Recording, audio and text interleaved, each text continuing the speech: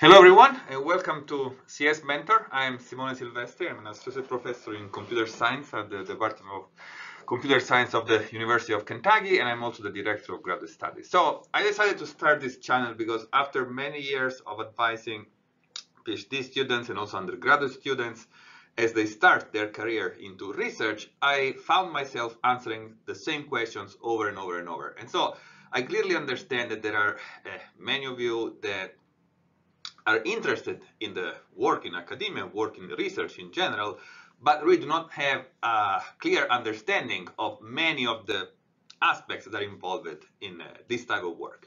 So that's what this channel is about. It really wants to answer the common questions that students, uh, both undergraduates, graduate, potentially even postdoc, and even potentially maybe some assistant professors that just started their career want to understand better regarding uh, this type of work.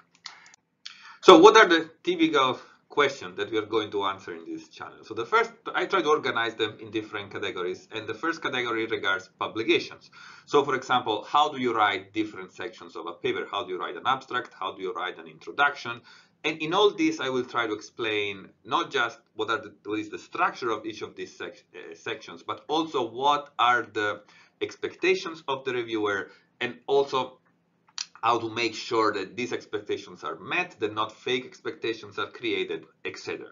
Also, you know, when you want to submit your paper, where are we going to submit it? How you evaluate the quality of a publication venue? What are the uh, instruments that we have available to evaluate Uh, publication venues in both conferences and journals, of course. And at the same time, if your advisor assigns you a review to do, then how do you do that? How do you go about that? How do you write the review? What are the different sections? What does it mean to review for a conference versus reviewing for a journal? And what are the different outcomes of a conference versus a journal, etc.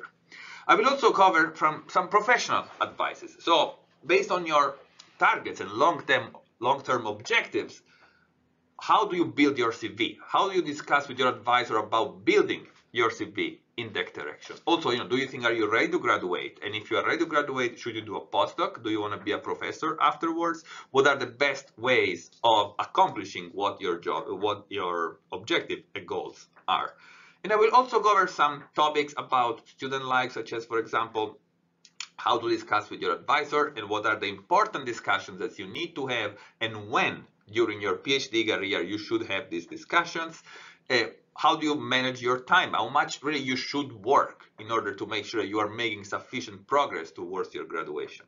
And also what some basic questions that maybe are useful to uh, prospective graduate students, such as, for example, undergraduate students uh, that want to do a graduate study and do not, for example, know the difference between a teaching assistantship, a research assistantship, etc. And also some other general questions, for example, how, what are the bibliometric indices and how to evaluate the quality of academic productivity? And uh, you know, how do you prepare for a presentation for a conference, uh, depending on the length, depending on the venue, depending on the uh, target audience, uh, all this should affect the type of presentation that, that, you prepare. And also, of course, some good practices in order to make the most effective uh, use of the time that you have available to present. And also some uh, more higher level question about, for example, how the funding mechanism work and, you know, how do professors get money and where uh, how this money are awarded, how they can spend them, and you know if you are supported as a research assistant, how long this is going to last, depending on how much time the professor will have the money, uh, etc. So of course, all these questions are going to be answered with a perspective of computer science students and computer engineering students.